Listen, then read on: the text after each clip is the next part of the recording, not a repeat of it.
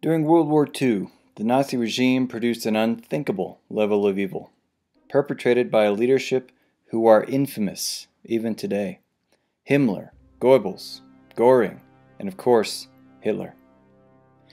After the war was over, some of these high ranking Nazis were caught and tried. Some committed suicide, while others managed to escape justice. Yet there is one notorious Nazi whose fate remains a mystery to this day that of Heinrich Müller.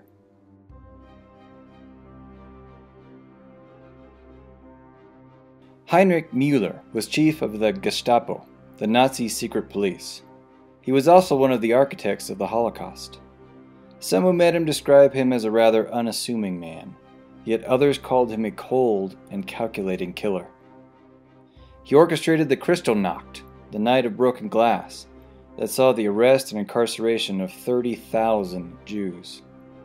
In 1939, when Hitler was looking for an excuse to invade Poland, Mueller gathered a group of men from a prison camp, promising that they would be pardoned and released. Instead, he had the prisoners murdered, dressed in Polish uniforms, and displayed at a German radio station near the Polish border to construct a story to justify a German invasion.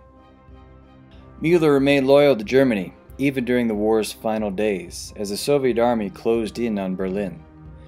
He was last seen in Hitler's bunker on May 1, 1945, where he was heard to remark, We know the Russian methods exactly. I haven't the faintest intention of being taken prisoner by the Russians. After that, Heinrich Müller vanished. Rumors swirled after the fall of Berlin regarding the fate of Müller. Some say he was killed or committed suicide, with one report even claiming that his body was buried in a Jewish cemetery. Others say he escaped Berlin and Germany and found refuge in another country, possibly South America, and lived out the rest of his life. None of these claims have been supported by evidence. The strongest rumors are that Mueller was recruited by either the Americans or Soviets to work for them in secret. Unclassified CIA documents would seem to indicate that the Americans searched for Mueller, but were unable to find him.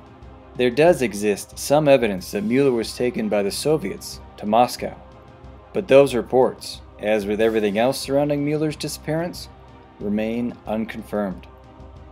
So, what happened to Heinrich Mueller?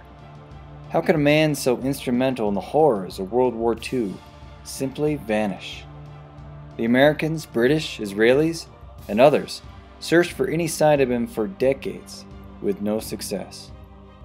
Mueller was born in 1900, so if he did escape the war, he's dead today.